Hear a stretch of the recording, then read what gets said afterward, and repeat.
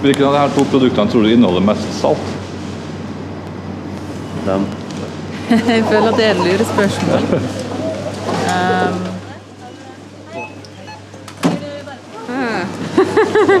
Eh, jeg ville vel Kanskje sagt den? Naturlig å tenke Den. Den? Det er faktisk den. Ja. ja. Det er rart. Det hadde jeg aldri trodd. Visste du at for mye salt det fører til høyt blodtrykk? Ja, det visste jeg. Det visste Prøver å unngå salt, men jeg er for glad i det.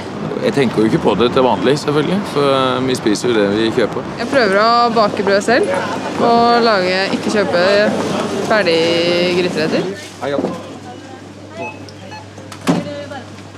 Jeg leser litt sånn forskjellig at uh, man bør ikke spise så mye salt. Vi får i oss mer eh, salt enn det vi skal. Hva syns du om at Kiwi kutter salt i alle kjøttdeigsprodukter? Ja, det høres veldig bra ut. Det er bra det, med tanke på hvor uh, usunt salt er i for stor mengder. Så det er jo opp til kjeden og myndighetene, spør du meg, til å få et sunnere kosthold i befolkningen. Så, så enkelt bør det jo være.